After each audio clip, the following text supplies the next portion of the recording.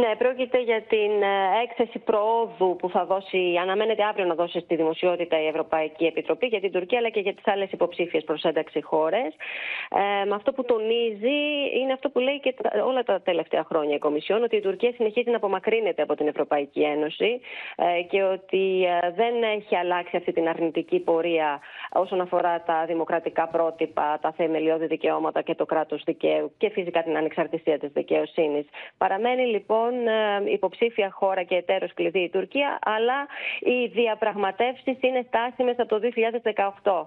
Να, πούμε, να ξεκινήσουμε με τα ελληνοτουρκικά, θα έλεγα Λίνα. Εκεί σημειώνεται ότι υπάρχει ένα θετικό κλίμα μεταξύ της Ελλάδας και της Τουρκίας μετά τους σεισμούς του 2023 ε, και κυρίως με τις συναντήσεις που έχουν γίνει κατέρωθεν μεταξύ του και του Πρωθυπουργού και του Προέδρου της Τουρκίας.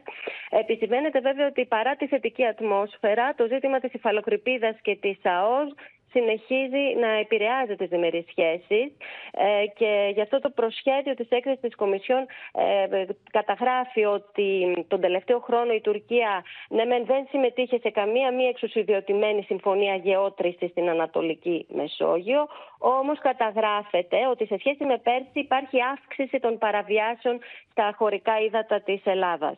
Ε, γίνεται επίσης αναφορά στο ότι η Τουρκία αντέδρασε στη δημιουργία του θαλάσσιου πάρκου εντός των ελληνικών χωρικών υδάτων.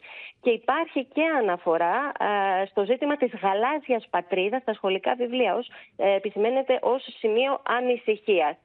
Τώρα, σε ό,τι αφορά το Κυπριακό, επαναλαμβάνεται ότι η Τουρκία συνεχίζει να ζητά λύση δύο κρατών, σε αντίθεση με τις αποφάσεις του Συμβουλίου Ασφαλείας των Ηνωμένων Εθνών. Ε, και φυσικά γίνεται αναφορά στα συμπεράσματα του Ευρωπαϊκού Συμβουλίου του Απριλίου, όπου εκεί γίνεται σαφές ότι η πρόοδος των ευρωτουρκικών σχέσεων επηρεάζεται ε, και από τις εξελίξεις στο Κυπριακό και ότι η Ευρωπαϊκή Ένωση παραμένει πλήρως ε, προσιλωμένη σε μια συνολική διευθέτηση του Κυπριακού εντός του πλαισίου του ΟΗΕ.